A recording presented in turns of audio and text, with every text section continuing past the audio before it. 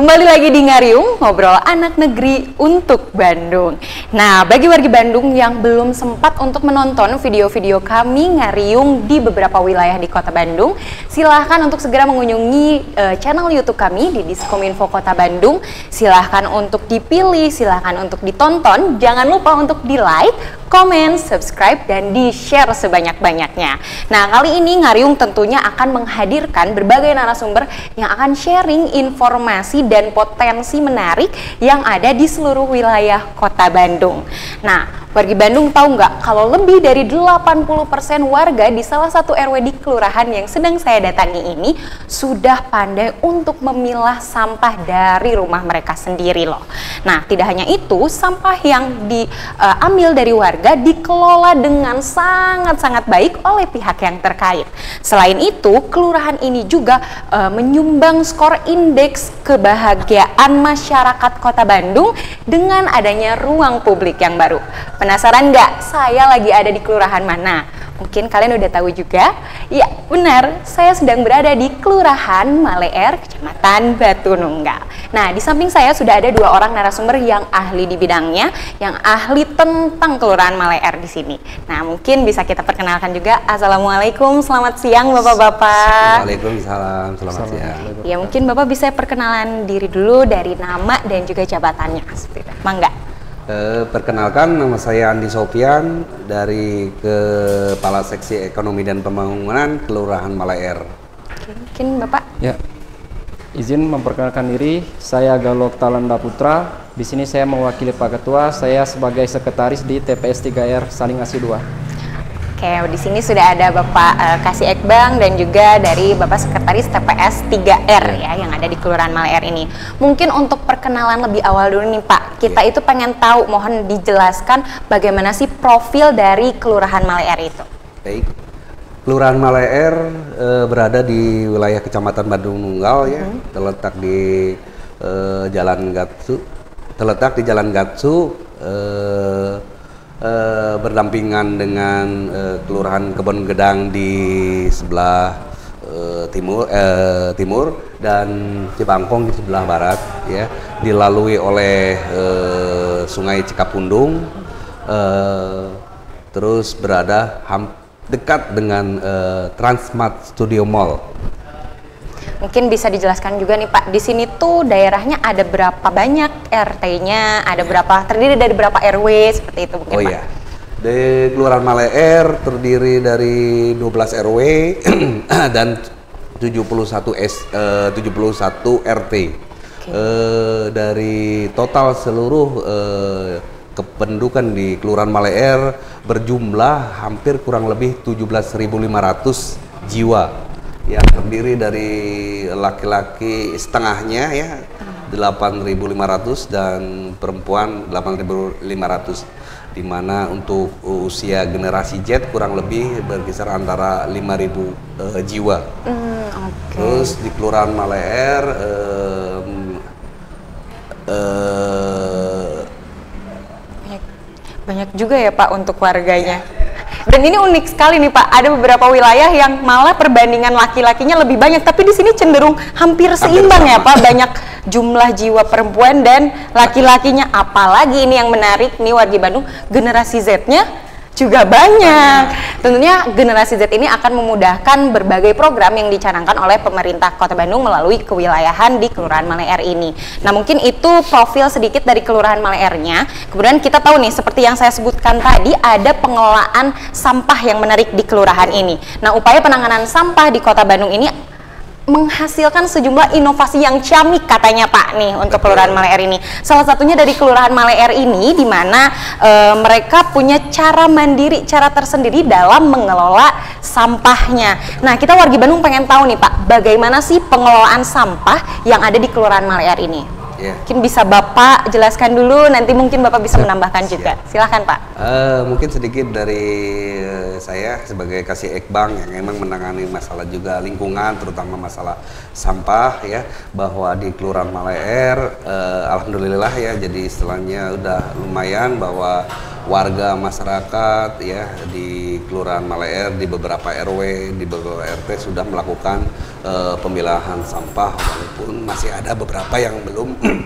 uh, mengikuti istilahnya uh, arahan dari uh, pemerintah ya uh, bahwa uh, pengolahan sampah di Kelurahan Maleer sudah terpilah dari sampah organik dan sampah anorganik yang kemudian ditarik ke TPS 3R sebagai istilahnya untuk proses lebih lanjut dalam pengolahan untuk menjadi kompos dan magot. Mungkin cukup ya. ya. Mungkin Bapak bisa menambahkan terkait pengelolaan sampah yang ada di Kelurahan Maler ini dari sisi TPS 3R-nya. Siap. Uh, izin uh, menambahkan betul yang Bapak Ekbang bilang tadi. Jadi saya hanya menambahkan saja. Jadi untuk TPS 3R Maler ini uh, alhamdulillah sering menjadi lokasi studi tiru juga Ibu mm -hmm. untuk uh, kegiatan sejenis baik dari ujung Sumatera sampai dengan kita paling jauh eh, Makassar pernah ke TPS 3 untuk studi tiru. Nah, jadi saya cuma menyampaikan paling kelebihan yang sering menjadi eh, objek studi tiru di wilayah kami ke wilayah lain. Jadi ada beberapa poin penting yang sangat kuat di TPS kami. Jadi salah satunya itu ada eh, pengurus. Jadi di sini kita ada pengurus dari ketua sampai dengan operator Nah itu alhamdulillahnya semua pengurus yang ada di TPS 3 ini isinya adalah tokoh. Jadi ada Bapak RW, ada Bapak RT. Jadi ketika uh, memberikan edukasi ke masyarakat jadi lebih didengar dan juga nanti ketika memberikan uh, punishment itu lebih didengar oleh masyarakat.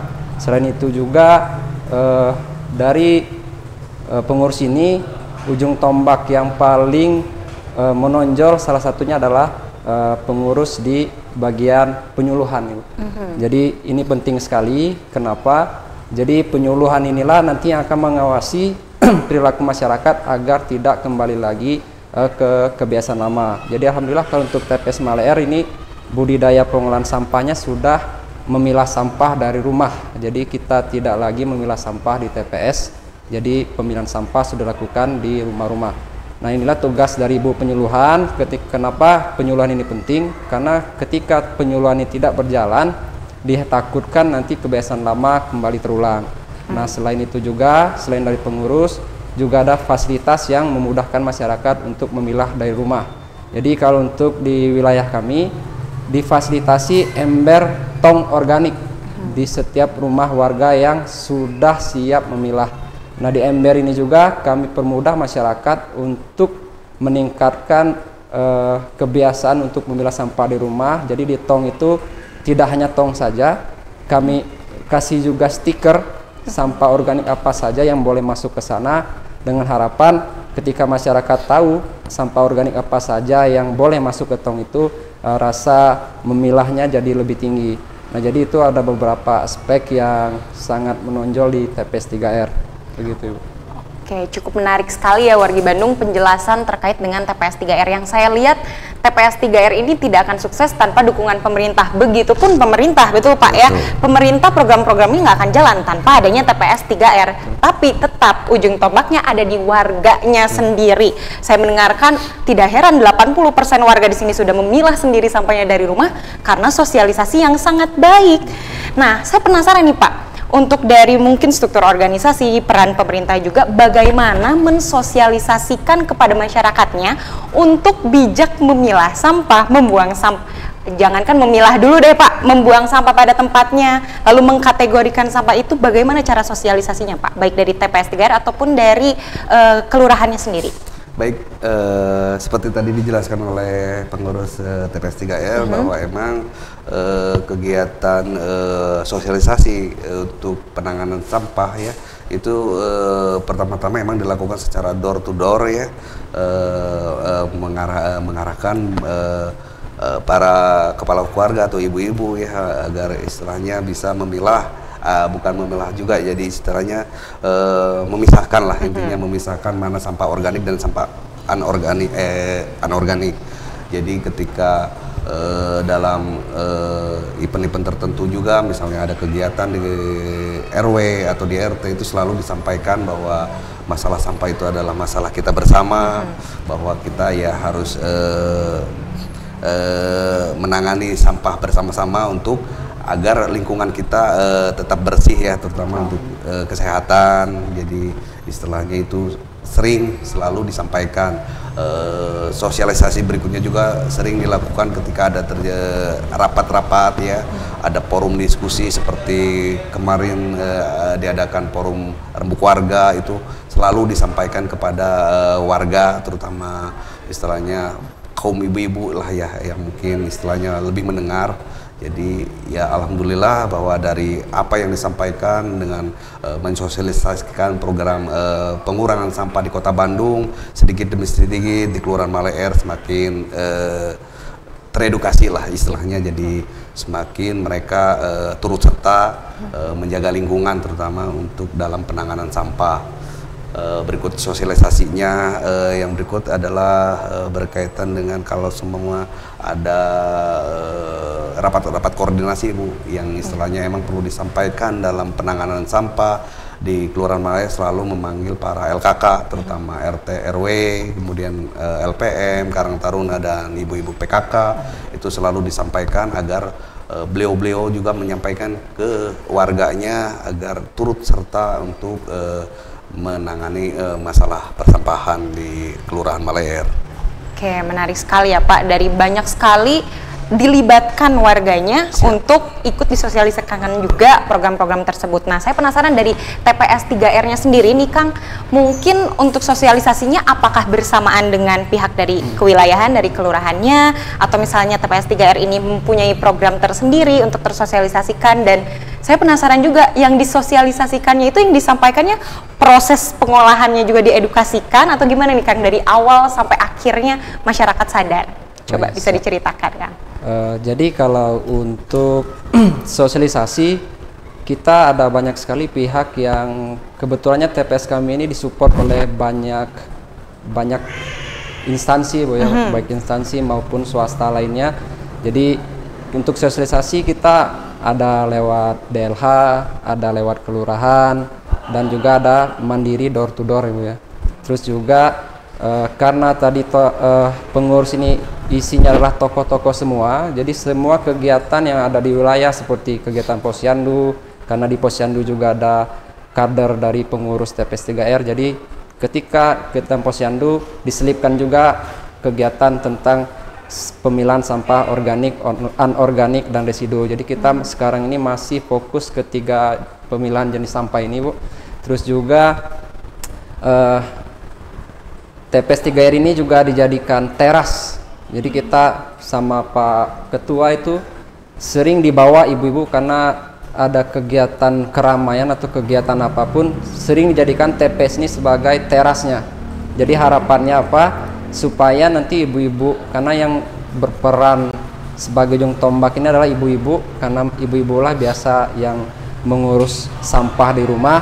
Nah itu sering kami bawa ibu-ibu terkait uh, apa sih manfaat dari warga memilah sampah. Nah itu kebetulan kalau untuk TPS kami karena ada halaman nah itu sering dijadikan untuk kegiatan senam uh, bahkan sampai dengan kemarin itu kegiatan vaksin dan kegiatan lainnya itu dilakukan di depan TPS dengan harapan nah, warga melihat kalau kita memilah sampah di rumah TPS-nya jadi bersih dari air lindi terus juga petugasnya juga lebih manusiawi terus juga pekerjaan jadi lebih ringan dan yang pasti residu hanya residu yang nanti akan dibuang ke tempat pengolahan akhir.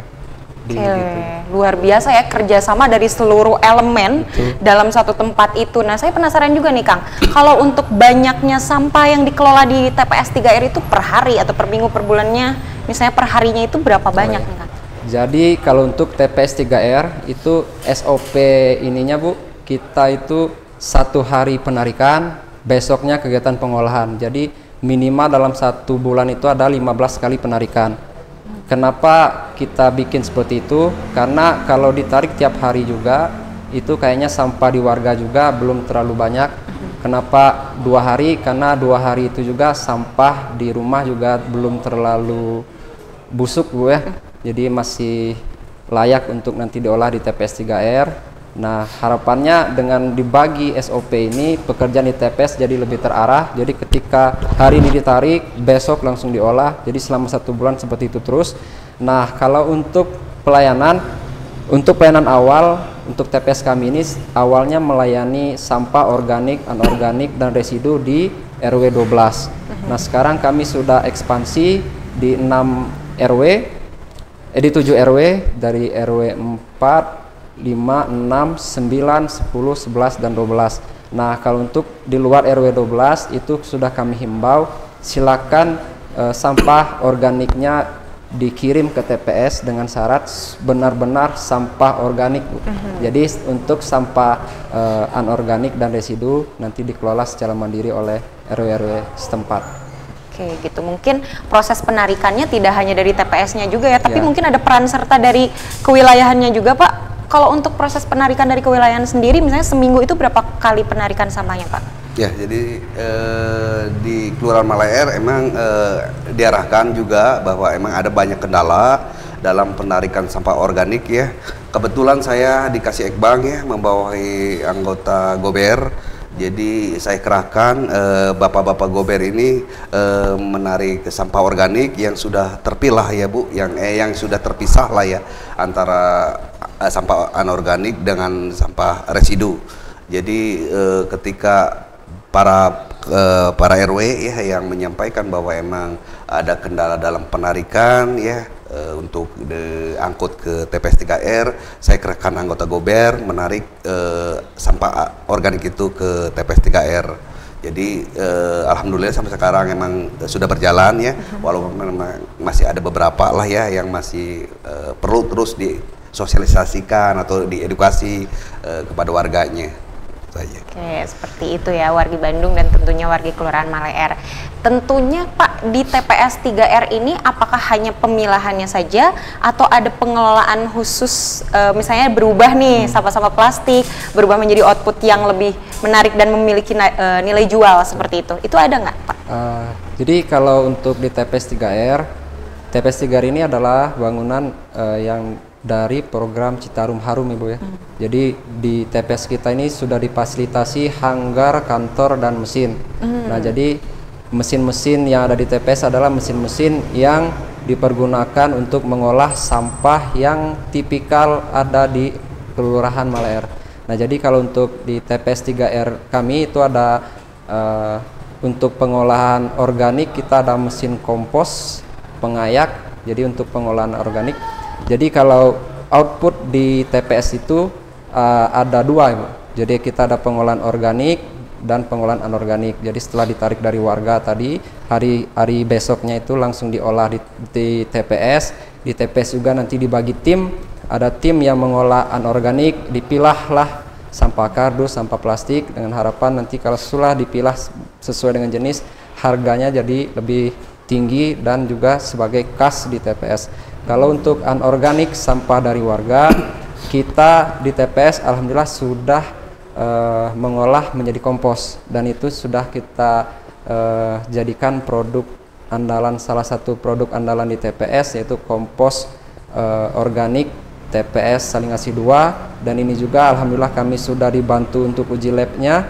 Uji labnya ini juga sendiri alhamdulillah TPS kami tadi karena banyak yang membantu termasuk uji lab itu datang sendiri beberapa instansi bahkan kemarin kalau yang terakhir itu dari Kementerian uh, Kehutanan yang mengkaji uh, kompos kami uh, setelah dikaji keluarlah hasilnya ternyata kompos kami itu cocok untuk tanaman berumur pendek hmm. seperti sayuran atau tanaman tidak berbuah Kenapa kompos kami hanya cocok untuk tanaman berumur pendek? Karena di TPS kami itu tidak pakai kotoran hewan. Hmm. Ya, jadi karena kalau kami pakai kotoran hewan di TPS untuk pengolahan kompos itu uh, rentan uh, ketika proses biomisasi menjadi kompos itu mengganggu warga sekitar. Jadi kami tidak mau menimbulkan efek negatif terhadap warga sekitar. Makanya murni untuk organik kami pembusukan dengan dedaunan dan mol. Nah, selain itu, selain jadi kompos, alhamdulillah juga TPS kita sekarang dapat bantuan eh, media budidaya maggot. Mm, yeah. Baru terbangun di tahun lalu Nah sekarang sedang berjalan. Nah itu juga uh, sampah organik yang masuk di Kelurahan Maleer yang dari tujuh kelurahan tadi, eh, tujuh RW itu dipisah menjadi dua, ada yang dibikin kompos dan ada yang dibikin menjadi pakan untuk maggot. Begitu. Alhamdulillah. Nah, mungkin wargi Bandung dari tadi kita membicarakan TPS 3R, tempat pengelolaan sampah, reuse, reduce dan juga recycle. Dan seluruh program itu sudah ada seperti yang diceritakan tadi oleh Kang Galuh ya. Seluruh program 3R-nya sudah ada dan ini ketambahan sama magot tadi ya Pak. Nah, kita juga penasaran nih di beberapa wilayah sudah dibagikan magot-magot juga. Apakah di sini sudah ada Kang progres hasil panen si magotnya? Mungkin Bapak bisa bercerita dulu Pak atau Kang Galuhnya oh, iya. terkait iya. magotnya? Siap. Jadi kalau untuk Magor sendiri memang kami sudah mulai dari awal TPS ini beroperasi ketika tahun 2019. Hmm. Cuman untuk 2019 ini karena uh, fokusnya ke kompos jadi magornya tidak terlalu banyak. Okay. Nah, ketika datang uh, bantuan uh, media untuk budidaya magor ini berupa hanggar. Nah, kebetulan uh, hanggar ini sendiri baru terselesaikan bulan 12 kemarin. Nah, jadi sekarang itu masih di kegiatan pembenihan dan pendewasaan. Hmm. Jadi untuk sekarang memang karena baru hitungan bulan, jadi saat ini progresnya masih di tahap uh, pembenihan dan pendewasaan magor. Jadi kita belum sampai ke kegiatan penjualan begitu. Oke, alhamdulillah mungkin sudah ada progres setidaknya Pak ya dari awal dibagikan magotnya dan kita berharap nanti ke depannya hasil panennya juga ada Betul. bisa dioptimalkan kembali pengolahan sampah melalui itu. Nah kita tadi sudah mendengar juga cerita-cerita terkait keunggulan Kelurahan Maleer melalui TPS 3R-nya. Nah sekarang saya mau bertanya lanjutan nih Pak, apa aja sih keunggulan lain yang dimiliki oleh TP, uh, eh, oleh Kelurahan Maleer ini selain si TPS 3R tadi? Mungkin Pak uh, Bapak bisa menjelaskan lebih lanjut. Baik ya di Kelurahan Malaer emang selain dari TPS 3R dan Anggar Magot dan itu satu-satunya di Kecamatan Batu Nunggal di 8 kelurahan yang ada TPS 3R dan rumah magot yang terfokus dalam satu lokasi itu hanya ada di Kelurahan Malaer. Keunggulan lain adalah eh, di Kelurahan Malaer eh, adalah adanya taman ya uh, taman yang uh, ada jogging track, kemudian ada climbing, kemudian ada lapangan multifungsi, taman RW yang uh, ada uh, seluncur buat anak-anak, kemudian ada tempat duduk yang memang untuk berjemur. Uh, itu adalah hasil dari uh, bangunan liar yang emang tidak berizin yang dilakukan oleh uh, Satgas Citarum Harum dan BWS uh, provinsi ya. Jadi saya cukup senang bahwa uh, Kelurahan Maleer uh, memiliki keunggulan bahwa di Maleer itu sekarang uh, sangat uh, menarik lah bahkan dari luar wilayah pun banyak yang bermain ke Kelurahan Maleer terutama di taman terutama untuk anak-anak anak-anak muda ya anak-anak kecil ya di sini jadi eh, yang dulu istilahnya eh, mereka kebingungan bermain di mana di sini udah eh, sekarang eh, terfokus di taman ya. Ada di Taman Ciko 5 kemudian di sini ada taman di depan Kelurahan Maler ada taman eh, Get Low City eh, yang kemungkinan di tahun ini juga akan berlanjut. Ada taman Low City-nya di sebelah eh, RW 12 ya uh, di situ ada uh, keunggulan yang sangat luar biasa ya. Terutama dampaknya terhadap uh, happy ya terhadap anak-anak senang gitu ya. Dengan adanya taman Ciko, taman RW, pintu gate, Low City, kemudian akan ditambah dengan taman-taman yang lain yang masih dalam proses berjalan lah ya dan e, bersyukurlah jadi karena emang dampak dari penertiban rumah-rumah liar yang emang ditertibkan ini sangat berdampak positif buat e, para warga. Oke, banyak sekali program-program keunggulan yang berada di Kelurahan Maleer ini. Tidak hanya tadi TPS 3R-nya, namun juga memiliki ruang terbuka publik yang tentunya kayaknya Pak kalau saya jadi warga Kota Bandung saya pengen juga nih tinggal di sini Boleh. karena selain pengelolaan sampahnya yang sudah cukup baik, uh, ruang terbuka untuk publiknya juga ada, kayaknya benar-benar happy gitu ya orang-orang yang tinggal di sini. Apalagi untuk TPS 3R-nya Kang, ini ada nggak Kang harapan dari TPS 3R sendiri sebagai dia kan banyak studi tiru yang ingin copy gitu ya, mengcopy atau ingin meniru, ingin menerapkan TPS-nya seperti TPS 3 r ini. Ada nggak harapan dari Kang Galuh sendiri untuk TPS-TPS lainnya tuh bisa loh yeah. kayak TPS yang ada di Kelurahan Maleer ini? Uh, jadi betul Ibu, uh, ketika sering uh, adanya kegiatan studi tiru di TPS kami, itu memang kami sering sering sharing dengan mereka. Sebenarnya pengolahan sampah itu memang pelik ya. Jadi memang dari memang harus ada edukasi yang terus menerus. Makanya di TPS Maler ini sebenarnya sebelum ada fasilitas ini sudah ada embrionya dulu sebelumnya. Hmm. Jadi sudah ada kegiatan mengumpulkan sampah di depan rumah. Jadi ketika sudah ada fasilitas memang tinggal mengupgrade tadinya ketika masyarakat mas sebelumnya itu memilah, mengumpulkan sampah depan rumah ketika ada fasilitas kita upgrade lagi jadi tadinya memilah sampah eh, mengumpulkan sampah depan rumah di upgrade menjadi memilah sampah depan rumah. Cuman ya itu eh, memang harus ada sosialisasi secara terus menerus harus ada pengurus yang aktif dan harus ada masyarakat yang peduli. Terus juga sebenarnya masyarakat itu sebenarnya mau gitu ya tinggal gimana uh, wilayah mempermudah mereka. Seperti kami di Malayar sebenarnya sudahlah masyarakatnya memilah bayar iuran tapi warga tetap mau karena nah. memang warga butuh terus juga warga dikasih fasilitas mereka dipermudah ya alhamdulillah uh, sampai sekarang di TPS kami uh, masih berjalan sebagaimana mestinya. Iya, alhamdulillah itu sisi baiknya ya. dari Kelurahan Maleer yang sudah ada. Nah, Tambahan mungkin oh, siap Bapak, ya. mangga. Jadi gini, eh, di TPS 3R pun sekarang eh, udah kalau boleh dibilang udah agak modern ya. Uh. Karena eh, TPS 3R itu keberadaannya sekarang tidak lagi bergantung pada kepengurusan RW. -huh. Karena TPS 3R sekarang udah berakta notaris, Bu. Uh. Jadi saya yakin pasti dan itu akan terus berlanjut hmm. karena emang e, secara e, kepengurusan bahwa di dalam akta notaris pun udah tercantum kepengurusannya jadi e, kebanyak lebih lebih hebatnya lagi ke bahwa TPS TKR itu bukan hanya e, ketika pengurus RW-nya sudah selesai berhenti. Mm. tapi ini tetap berjalan terus bu. Karena emang ada arahan dan anjuran bahwa emang harus dibuatkan akte di TPS TKR jadi emang uh, ya saya juga terima kasih sebagai uh, uh, perwakilan pemerintah ya dari Kelurahan Malaer uh, bahwa emang uh, Bapak pengurus uh, TPS 3R itu emang serius Bu dalam uh, mengatasi permasalahan uh, sampah di Kelurahan Malaer ya bahkan sampai sanggup uh, menampung sampah organik dari beberapa RW itu yang saya banggakan lah gitu istilahnya bahwa TPS 3R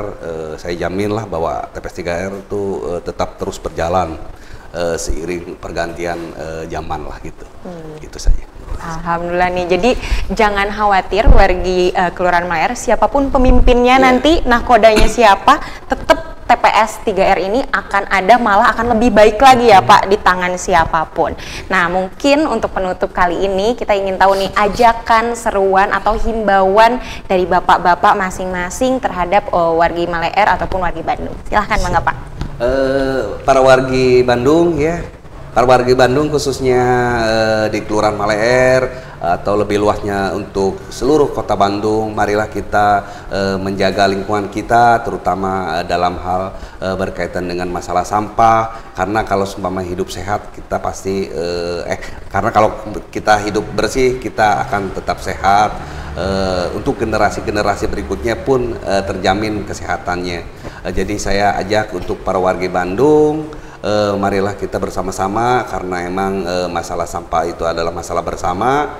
Uh, saya mengarahkan ke generasi milenial ya generasi Z yang emang sebagai calon-calon pemimpin di masa yang akan datang marilah kita bahu membahu bahwa emang masalah sampah itulah masalah bersama bahwa sampah adalah kebersihan di mana kebersihan itu adalah bagian daripada iman Mungkin. Oke, terima kasih banyak Pak. Silakan Kang Galuh untuk menambahkan ajakan, seruan atau himbauan kepada masyarakat. Oh ya, siap. Jadi uh, himbauan kepada mungkin uh, uh, beberapa wilayah yang memiliki tipikal yang sama seperti RW 12. Kebetulan di wilayah kami itu tipikal padat pemukiman, jadi mungkin nanti ketika ada warga Bandung yang mempunyai uh, masalah atau kendala terhadap pengelolaan sampah, itu TPS kami selalu terbuka untuk sharing dan belajar. Kami juga di TPS juga selalu membuka diri. Kami ingin selalu berkembang. Harapannya ketika ada wilayah yang memiliki tipikal seperti wilayah RW 12, silakan main ke tempat kami. Kami bisa belajar dari Bapak Ibu dan Bapak Ibu juga bisa meniru apa yang baik di kami. Jadi sekian uh, imbauan terhadap warga Bandung yang memiliki masalah persampahan tipikal perkotaan seperti kami. Siap, terima kasih banyak Bapak dan juga Kang yang sudah memberikan informasi yang isinya semuanya ini bermanfaat insya Allah ya Pak Kang untuk wargi Bandung semuanya. Nah jadi wargi Bandung jangan lupa untuk tetap peduli akan pengelolaan sampah. Dan siapa yang ingin tahu lebih lanjut terkait pengelolaan sampahnya silahkan khusus datang ke Kelurahan Maleer bisa menghubungi Bapak Andi ataupun mencari Kang Galuh untuk sama-sama belajar bagaimana cara mengelola sampah yang lebih baik untuk mewujudkan Bandung yang lebih baik. Hatur nuhun Kang, hatur nuhun Pak. Jangan lupa wargi Bandung untuk tetap menonton video-video uh, kota Bad video-video potensi-potensi yang ada di wilayah Kota Bandung. Saya Irma Rosayani beserta rekan-rekan yang bertugas pamit undur diri. Terima kasih. Wassalamualaikum warahmatullahi wabarakatuh. Presented by Humas Kota Bandung.